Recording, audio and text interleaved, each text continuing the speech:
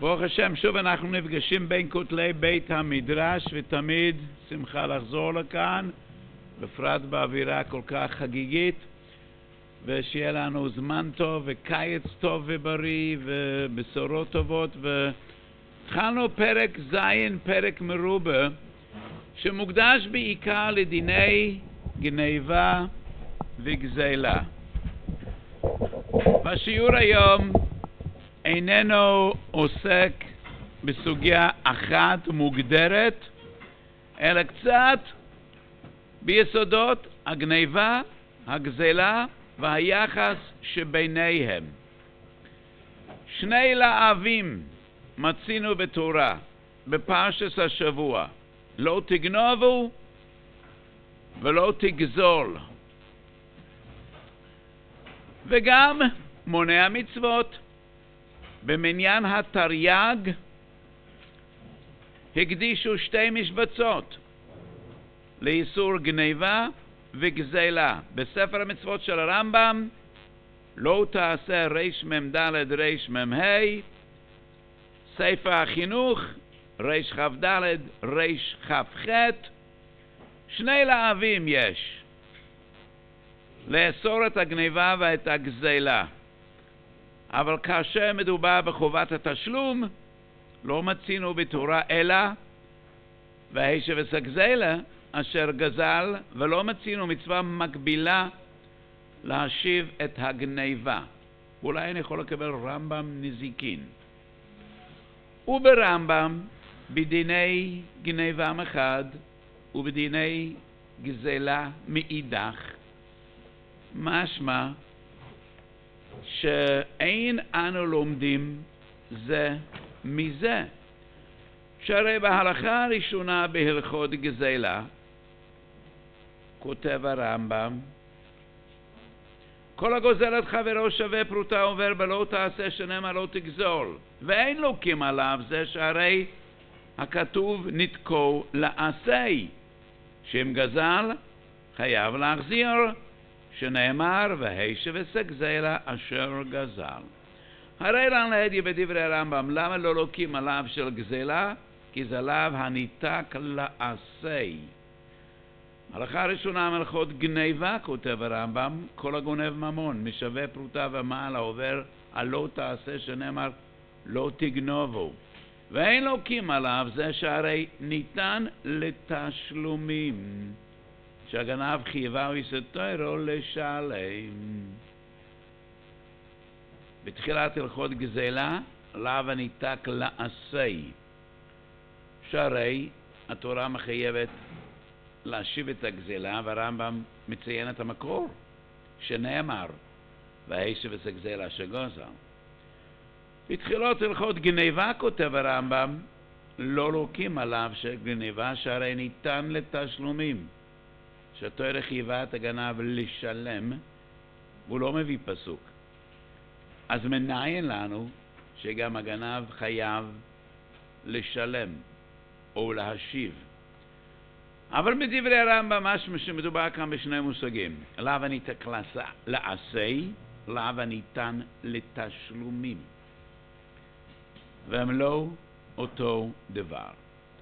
אז התוספות בבבא קמא, י"א עמוד א', ורש"י בבבא קמא דף ה' עמוד א',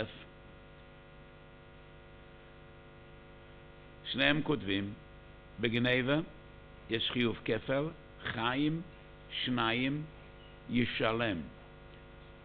מכאן למדנו לא רק על חובת התשלומים של כפל, אלא גם על התשלום הראשון. מהפסוק הזה למדנו שהוא צריך לשלם שניים תחת השור תחת עשה, וזה המקור למצוות תשלומים שרובצת על הגנב. לא הפסוק והישם אסגזלה שגוזל, וכך משמע מדברי הרמב"ם, שהרי בתחילת גזלה כותב הרמב"ם, לא לוקים עליו של גזלה כי זה ניתק לעשי, והרמב"ם מציין את הפסוק והישב אסגזלה שגוזל. בתחילת הלכות גניבה, הרמב"ם לא מגדיר את זה כניתק לעשי, אלא ניתן לתשלומים. שהרי הגנב חייבה אותו, אותו התורה לשלם, והרמב"ם לא מביא את הפסוק. מנין?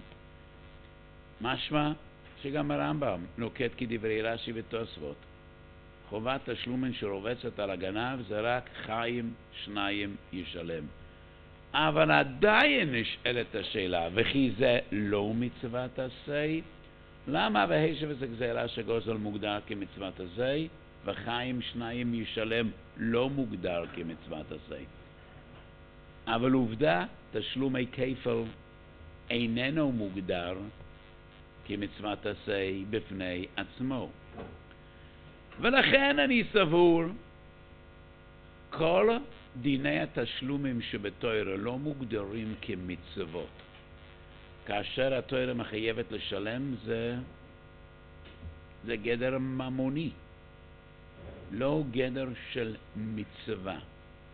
אז למה ואישה וזה גזלה שגוזל זה כן גדר של מצווה? כי המצווה להשיב את הגזלה אין גדרו תשלומין, תשלומי ממון. זה, זו מצווה, שהרי מצד הגדרים הממוניים, ממון חברו בידו. הגזלה דומה לפיקדון. כאשר פלוני הפקיד פיקדון אצל אלמוני, או אלמוני גנב מפלוני, בשני המקרים ממון חברו בידו. ואולי בהזדמנות אחרת נעסוק בשאלה כאשר הגנב או הגזלן חייבים להשיב גזלה לבעלים, מה בדיוק החובה המעשית שרובצת על הגנב או על הגזלן? האם הגזלן רק די בכך שהוא מודיע לבעלים, אני הגזלן, החפץ שלך תחת ידי, אנא תבוא תיקח, או שמא חובה רובצת על הגזלן, אתה זה שצריך להשיב את זה בפועל לבית הבעלים. הוצאתם מרשותם, אתה צריך להחזיר את זה. והטורח בהשבת הגזלה לא על הבעלים היא מוטלת, אלא על הגזלן. אבל בין כך ובין כך, חובת השבת הגזלה אין עניינו תשלומין, אלא השבה. וחובת השבת הגזלה הוא לא גדר תשלומין כי גם כאשר הגזלה בבית הגזלן, אבל הוא ממון בעלים, ממון חברו בידו, ולכן החובה להשיב את הגזלה מוגדרת על ידי הרמב"ם כמצוות עשה.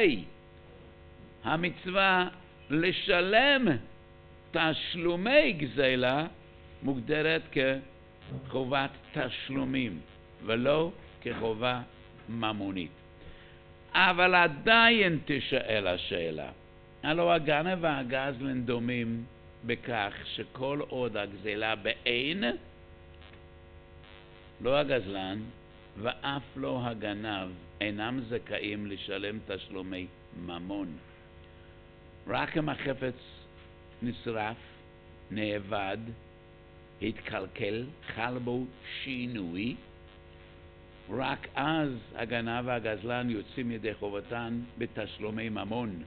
אבל כל עוד החפץ באין, לא רק הגזלן, שבו כתוב והישב וסגזל אשר גוזל, גם הגנב. אז אם אנחנו אומרים שכל החובה שרובצת על הגנב זה רק חיים שניים ישלם, אבל הפסוק אומר חיים, זאת אומרת, אם הבהמה חיה, אתה צריך להשיב אותה אבל בביאור הגרו, חושה משפוט, שמ"ח סעיף זין, כתוב להדיא, שגם הגנב חייב להשיב את הגניבה על סמך הכתוב והישב את הגזלה אשר גזל. והגרו הבין שלמרות שמצינו מצווה זו בגזלה, היא אמורה גם בגניבה. ולדידי נראה לי שזו הנחה פשוטה, שהרי יש כמה וכמה הלכות שלמדנו ממה שכתוב בגזלן, והם תקפים גם בגנב. ולחילופין יש הלכות שלמדנו מן הפסוקים שכתובים בגניבה והם תקפים גם בגזלה, ואני אתן שתי דוגמאות. שינוי קונה. הגנב והגזלן שגנבו חפץ, והם קלקלו את החפץ, או שהחפץ השתנה מטבעו. גנב טלה ונעשה עיל.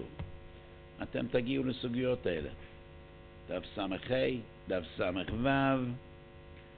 או כאשר הגנב הגזלן השתמשו בחפץ הגנוב, הגזול, וקלקלו אותו. שינוי כהנו. ואז הם לא יכולים לומר, הרי שלך לפניך, והם צריכים לשלם. כמה הם צריכים לשלם? כל הגזלון משלמים כשעס הגזלה, לא השווי של הגניבה עכשיו, אחרי שהוא מקולקל, לא השווי ברגע האחרון לפני שחל בו השינוי, אלא כשעס הגזלה. ומנין למדנו הלכה זו ששינוי קונה, והי שבזה גזלה שגוזל כאין שגוזל.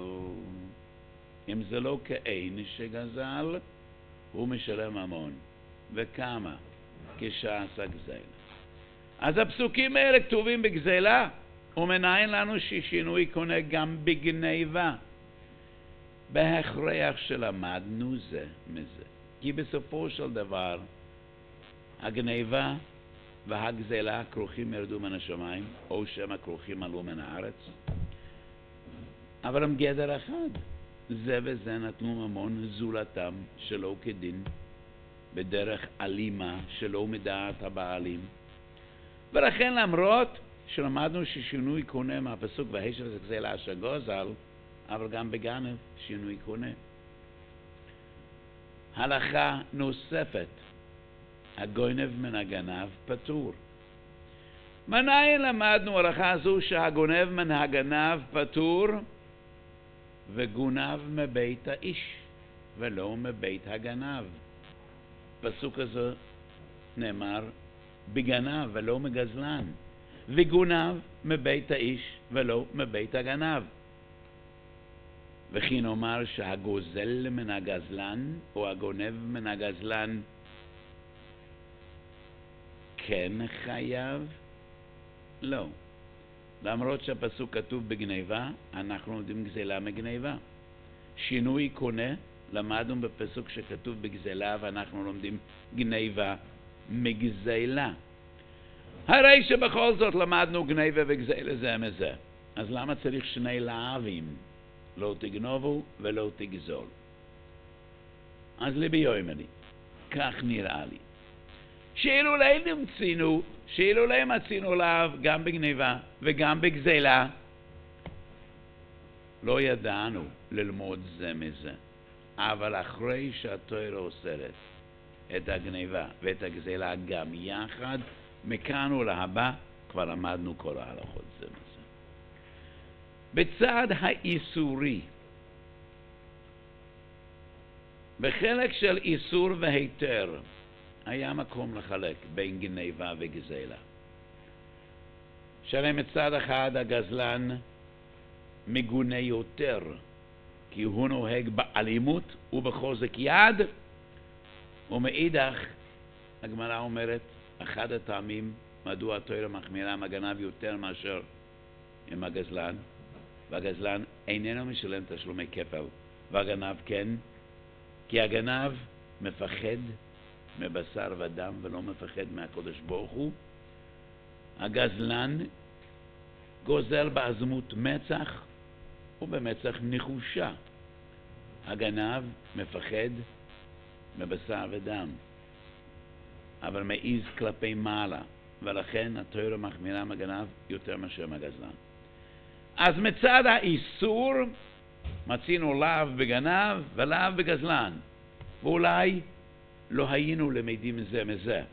אבל בכל הנוגע לדיני ממונות, אם זה גוי מן הגנב, או שינוי קונה, או חובת התשלומין, לומדים זה מזה. ולכן צודק הגרו, וזה לא רק ביור הגרו, כך מפורש ברמב"ן, בספר מלחמות השם ובראש, בבבא מציע חו"ב, כך מפורש בריטבו, מסכת מכות ט"ז עמוד א', שגם בגנב יש חובת השבה מצד והישב את הגזלה אשר גזע.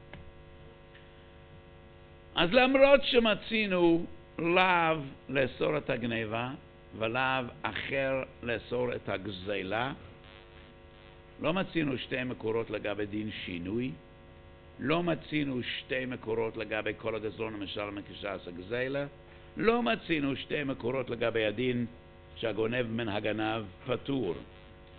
וכל ההלכות האלה, למרות שנלמדו רק ממקור אחד, הלכה זו בגזלה, ההלכה זו בגניבה, למדים זה לזה.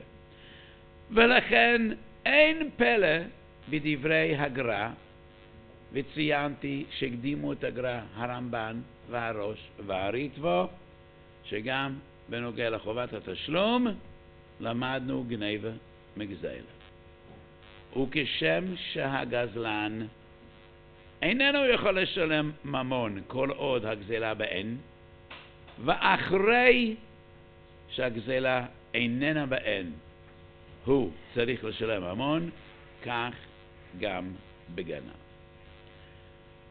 ולכן אני נוטה לומר שלמרות שהרמב"ם משתמש בשתי לשונות, הלכה הראשונה בהלכות גזלה הוא כותב אין לוקים עליו של גזלה משום שניתק לעשה ובהלכות גניבה בהלכה הראשונה הוא כותב שאין לוקים על הגניבה מפני שניתן לתשלומין לא בהכרח שמדובר בשתי מקורות זה אותו דבר. אז למה בגנב הוא משתמש בלשון ניתן לתשלומים? משום שבגנב בכל זאת לא מצינו פסוק מפורש על חובת ההשבה. לומדים גניבה מגזלה. ולכן הרמב"ם משתמש בלשון ניתן לתשלומים. אבל גם בגזלה לפעמים זה ניתן לתשלומים. כאשר הגזלה אינה באין, מה רובץ על הגזלן? חובת תשלום. ואף על פי כן, לא לוקים. והרמב"ם לא כותב, לא לוקים עליו דגזלה משום שכל עוד הגזלה באין זה ניתק לעשה. כאשר הגזלה לא באין זה ניתן לתשלומים. מובן מאליו. ניתן לתשלום וניתק לעשה זה אותו דבר. ראיה לדברנו מדברי הרמב"ם בספר המצוות, מצוות עשה קצ"ד. מצוות עשה קצ"ד זה מצוות העשה והשיב את הגזלה אשר גזל. אולי אני יכול לקבל רמב"ם בספר המצוות? כבר הטרחתי אתכם ברמב"ם נזיקין. ספר המצוות, מצוות עשה, קצ"ד, כותב הרמב"ם. היא שציוונו להשיב את הגזלה בעצמה אם היא נשאר, נשארה בעצמה, או לתת דמיה אם נשתנית. והוא אמרו יתעלה והישבס הגזלה. וכבר ביארו במסכת מכות שלאו דגזל ולאו הניתק לעשי. אז הרמב"ם במצווה זו, מצוות עשה קצ"ד, מפרש את מצוות העשה והישבס הגזלה אשר גוזל. מה הרמב"ם כולל במצווה זו?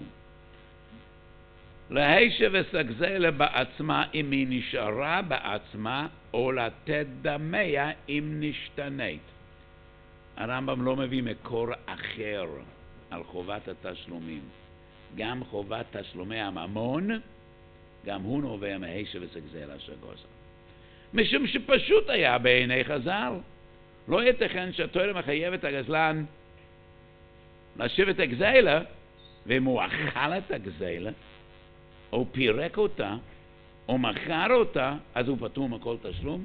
אין זה מתיישב על הדעת. ולכן חז"ל פירשו, והאיש וגזלה שגוזל אם זה כאין שגוזל, ואם זה לא כאין שגוזל, חייב לשלם. גם כשהוא משלם, הוא מקיים את המצווה של והאיש וגזלה שגוזל. ולכן כותב הרמב"ם, כבר ביארו במסכת מכות, שלאו דגזל ולאו הניתק לעשה, ולכן לא לוקים עליה. והרמב"ם לא טורח לכתוב שגם אם הגזלה איננה באין, זה לאו הניתן לתשלומים. אותו דבר, ניתן לתשלומים, זה רק פרט טכני, אבל גם כשהוא משלם תשלומי ממון, הוא מקיים את העשה והשב וסגזל אשר גוזל. אז אולי מישהו אחר היה אומר שיש כאן סתירה בין דברי הרמב"ם במשנתו לדברי הרמב"ם בספר המצוות.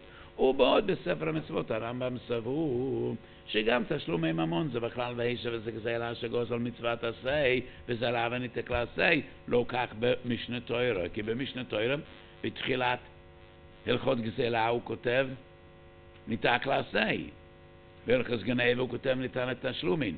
לא, לא. גם ניתן לתשלומין זה ניתק לעשה. ניתן לתשלום בין בגנבה ובין בגזלה זה כאשר החפץ כבר איננו באין. כאשר החפץ באין בין בגנבה ובין בגזלה, חייבים להשיב את גוף החפץ.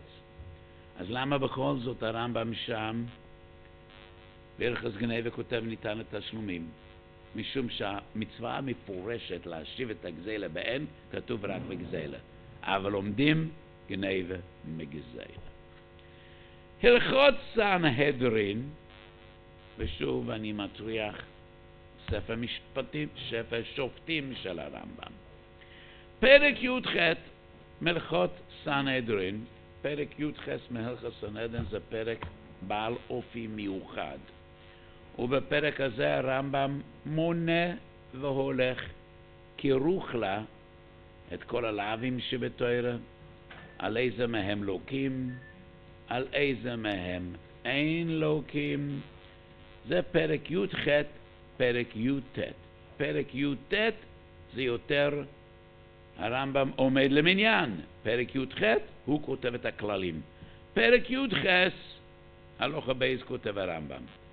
כל לאו שאין בו מעשה אין לוקים עליו. וכל לאו שניתן לתשלומים, כגון לא תגזול ולא תגנוב, אין לוקים עליו. וכל לאו שניתק לעשה, כגון לא תיקח האם על הבנים, לא תכלה פעשתך, אין לוקים עליו. מעניין. כאשר הרמב"ם כותב כל אב הניתק לעשה, הוא נותן שתי דוגמאות. לא תיקחו הם על הבונים, לא תכלה פאת שדך. כאשר הוא כותב לאו הניתן לתשלומים, אין לו כמלאו שתי דוגמאות. לא תגזול ולא תגנובו. אבל במשנתנו הוא כותב שלא תגזול זה ניתק לעשה, ולא תגנובו הוא ניתן לתשלומים. וכאן הוא מביא שתי דוגמאות, לא תגנובו ולא תגזול, ועל שניהם זה ניתן לתשלומים. בניתק לעשה הוא מביא דוגמאות אחרות. זה מוכיח מה שאני רוצה לומר. וזו ההשקפה שלי. אני יודע שדעתי בעניין דקדוקי לשונות שונה מדעת ראש השיבס רבים. ואני פחות בונה מגדלים הפורחים באוויר על דקדוקי לשונות. והרמב"ם לפעמים משתמש בלשונות מן הצד הפרקטי והשימושי והקל. אז לכאורה יש כאן סתירות כאן. ספר מצוות קצ"ד כותב הרמב"ם והישב וסגזלה אשר גוזה, להשיב את הגזלה או את דמיו. גם תשלומי ממון בכלל והישב וסגזלה.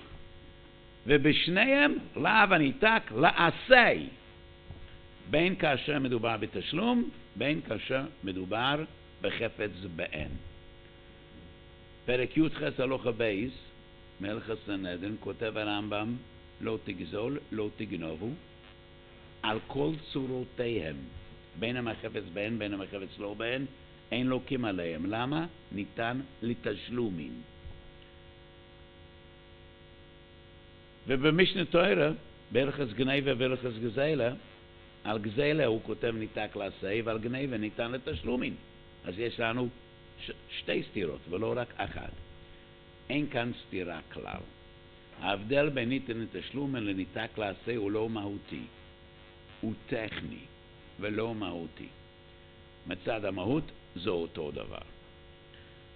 ולכן, כאשר הרמב"ם כותב את הכללים, איזה לאבן לוקים עליהם, איזה לאבן לא לוקים עליהם, הוא רק מביא דוגמאות. הוא מעדיף, מביא דוגמאות לאבן ניתק לעשה לא בתחום הממוני, אלא בתחום האיסורי. יצקח הם הבונים, לא תאכל פאי סודך. והוא מביא בין גזלה בין גניבה לדוגמאות שניתן לתשלומים, כי בסופו של דבר מדובר בדיני ממונות שבין אדם לחברו. ולחס גניבה ולחס גזלה. בגזלה הוא כותב ניתק לעשה, אף על פי שגם בגזלה כשהחפץ לא באין זה תשלומים. אף על פי שבגניבה, כאשר החפץ כן באין, הוא צריך לשבת החפץ. אז למה בגניבה הוא כותב תשלומין ובגזלה ניתק לעשה? סיבה טכנית. כי מצוות העשה כפי שהיא מנוסחת בתורס מוישה נאמרה רק בגזלה, ולכן בגניבה הוא כותב ניתן לתשלומים. אף על פי שמן הצד המהותי, גם בגניבה, לפעמים צריך להשיב את הגניבה, וכאשר זה לא בין משלמים, כך גם בגזלה. אף על פי כן, בגזלה ניתק לעשה, בגניבה ניתן לתשלומים, אבל זה אותו דבר. כפי שראינו בפרק י"ח מסנדן הלוך הבייזו בספר המצוות מצוות עשה, קצ"ד. ומה באמת מה המקור שצריך לשלם כאשר החפץ לא באין בגזלה? אמרתי בדברי הראשונים וגם ברמב"ם קצ"ד מפורש והישב, גם זה בכלל והישב. יש מן האחרונים שאומרים לא, ושילם אוי סוי ברוישוי. כאן כתוב חובס תשלומים. ואני אומר, אלה דינים, אלה פרטים. אבל המצווה נובעת מבהישה וזה גזלה שגוזר. וגם כשמשלמים תשלומי ממון, כאשר החפץ איננו באין, מקיימים בכך את המצווה של והישה וסגזלה אשר גזל, כפי שראינו להגיד בדברי הרמב"ם, קצ"ד במצוות העשה. עסקנו קצת בדברי הקדמה קצרים, קודם כל בנוגע למקורות, המקורות שאסור לגנוב ולגזול, המקורות שצריך להשיב, המקורות שצריך לשלם כאשר אין בידו להשיב, והלכות נוספות, שלמרות שלמדנו אותם מפסוקי גזלה, נוהגים גם בגניבה, שינוי קונה. הלכות אחרות שלמדנו אותן מפסוקי הגניבה, והם נוהגים גם בגזלה. הגונב מן הגנב פטור, וגונב מבית האיש ולא מבית הגנב. מילה של קניין גזלה, כי בכל זאת הגעתי לכאן וחבריי, מרביצי התורה, ניחשו, לא ניחשו טוב. שיראו שמן הסתם אני אדבר על קניין גזלה. אז בעזרת השם אולי השיעור הבא יהיה על קניין גזלה. לא רוצה לאכזב את אלה שתקינו את התדפיס, והסוגיה סוגיה מרתקת. אבל רק נקדים מילים צרות. חידוש גדול חידשו חכמינו. והמקור הוא משנה בדף ע"ט בבבא קמא. אין חיובי גניבה וגזלה, אלא אם הגנב או הגזלן עשו קניין. ורבים מן האחרונים הבינו מתוך כך, אם המשנה אומרת, שכל עוד הגנב והגזלן לא הגביהו את החפץ בקניין הגבהה, לא משכו את החפץ החוצה מרשות הבעלים לרשות הרבים או לרשותם, אין חיובי גניבה וגזלה. ורבים מן האחרונים למדו מכאן שלגנב או לגזלן יש זכות כלשהי בגזלה שבידם. משום שאם אין כאן זכות, אז מה קניין יש? ההגדרה הבסיסית של קניין זה מכשיר לרכישת זכויות כלשהן. כאשר אדם קונה, הוא מכניס דבר לרשותו. ואני חושב שרבים הסתבכו במושג של קניין גניבה וקניין גזלה. ורק אומר במילים קצרות. בדרך שאני רואה קניין גניבה וקניין גזלה, לגנב ולגזלן אין שמץ של זכות, רק חובה בלבד. והקניין של הגנב ושל הגזלן הוא עניין טכני, לא עניין מהותי. הגנב והגזלן אינם קונים זכות כלשהי בחפץ שבידם, אלא מה הרקע הפילוסופי של תוירס הקניונים? למה הרוכש או מי שמקבל מתנה צריך לעשות קניין? כי כל הקניינים הם מעשים סמליים. מעשים שמסמלים ומבטאים מעבר של חפץ או של נכס, דאית להון אחריוס דלית להון אחריוס. מעשי הקניין מסמלים מעבר מרשות לרשות. מרשות המוכר לרשות הלוקח, מרשות נותן המתנה לרשות מקבלה. גם בגניבה וגזלה יש מעבר. מעבר לא רצוני. מעבר שהורתו ולידתו בטומאה ובחטא. לא מדעת הבעלים. אבל המושגים של גניבה וגזלה זה הוצאת דבר מרשות לרשות. מרשות הבעלים לרשות הגנב, או לרשות הגזלן. וזה הקשר היחיד המהותי שיש בין מקח וממכר ובין גניבה וגזלה. כאשר המעבר הזה נעשה מרצון הבעלים, מדובר בזכויות. כאשר המעבר הזה נעשה בחטא ושלא מרצון הבעלים, אין בו כל זכות, אלא חובה בלבד שרובצים. אבל המכנה המשותף שבשני התחומים, גניבה וגזלה מצד אחד, מכר ומתנה מאידך, בשני התחומים מדובר בדבר או בחפץ שיוצא מרשות בעלים ונכנס לרשות זולתה. ולכן גם כאן וגם כאן צריך קניין. כי הקניינים כולם, כולם מבטאים ומסמלים מעבר, הוצאה מרשות אחד וכניסה לרשות אחרת. זאת הגישה הבסיסית שלי למושג של קניין גניבה, ובעזרת השם, בשבועות הקרובים, אולי בקרוב ניכנס יותר לפרטים. כדרכי תמיד בשיעור הראשון של הזמן, רק מילים קצרות. חזרנו לישיבה, וזו תמיד שמחה גדולה. אדם כבר יושבים כאן לפחות שבוע, אבל זו הזדמנות הראשונה שלי להיות בישיבה. ואנחנו נמצאים בעיצומם של ימי הסבירה. ימי הספירה הם ימים של התעלות, אמורים להיות ימים של התעלות.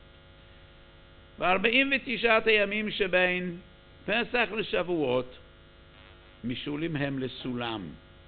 סולם שרגליה ניצבים באדמת מצרים, וראש הסולם מגיע לפסגות הר סיני, סולם שמקשר יציאת מצרים למתן תורה. רבי ישראל סלנטו